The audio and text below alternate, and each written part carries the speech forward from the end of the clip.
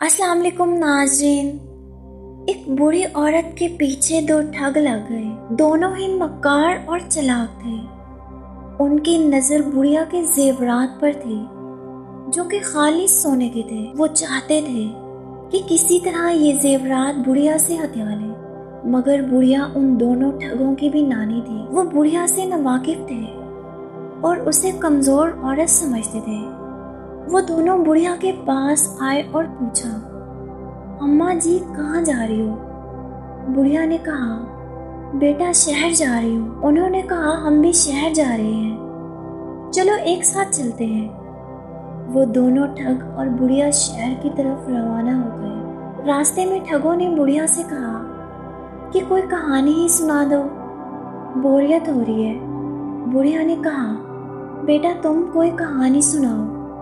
ठगों ने कहा, हम एक शर्त पे कहानी सुनाएँगे कि अगर तुमने कहा कि ये झूठ है तो तुम्हें ये सोने का कंगन हमें देना पड़ेगा। बुढ़िया ने कहा, ठीक है बेटा।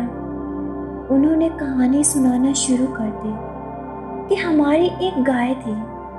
वो गाय इतना दूध देती थी कि पूरा गाँव उसका दूध पीता था, मगर फिर भी दूध खत्म नहीं होता था। उस गाय का एक सिंह पाकिस्तान और दूसरा सिंह हिंदुस्तान में था। बुढ़िया ने कहा, क्या ही खूब गाय थी। ठगों की कोई भी चाल कामयाब नहीं हो रही थी। तो बुढ़िया ने कहा कि, अब मैं तुमको एक कहानी सुनाती हूँ। मगर शर्त ये है कि अगर तुमने कहा कि ये झूठ है तो तुम्हें सौ रुपया मुझे देना पड़ेगा। बुढ़िया ने अपनी कहानी शुरू करते हुए कहा कि, जब मेरी शादी हुई तो मुझे जहेज में एक बैल दिया गया। बैल इतना मोटा ताज़ा था कि पूरे इलाके में ऐसा बैल किसी का नहीं था। एक दिन हमारे बैल के घर के बाहर किसी दूसरे बैल से लड़ाई हो गई। दोनों काफ़ी देर तक आपस में लड़ते रहे और हमारे बैल की पेशानी जख्मी हो गई। जख्मी पेशानी से एक कतरा खून का नीचे बिनोले के बीच पर गिरा। और उससे कपास पैदा हुए। कपास इतनी ज़्यादा मकदार में पैदा हुई कि हमने अपने घर वालों के लिए चादरें बनवाई। उन चादरों में से दो चादरें चोरी हो गई थी और खुदा झूठ ना बुलवाए। तो ये दोनों चादरें तुम दोनों के कांधों पर है। ये कहकर बुढ़िया ने वो दोनों चादरें ठगों से ले ली। इसके बाद बुढ़िया ने कहा कि उन दोनों चादरों से हमने मलमल के थान बनवाए थे।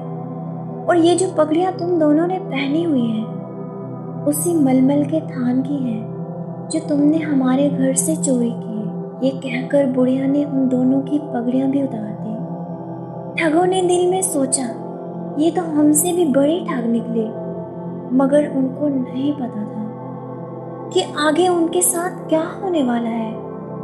जब तीनों शहर पहुँचे तो ठगों ने कहा कि हमें भूख लगी है।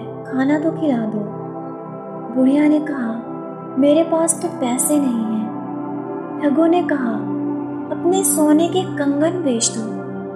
बुढ़िया ने कहा, तुम इधर बैठो, मैं सुनार की दुकान पर कंगन बेचकर वापस आती हूँ। जब बुढ़िया सुनार की दुकान पर गई तो उसने सुनार से कहा कि मैंने गुलाम बेचने हैं। सुनार ने बुढ़िया से पूछा कि कितने गुलाम हैं?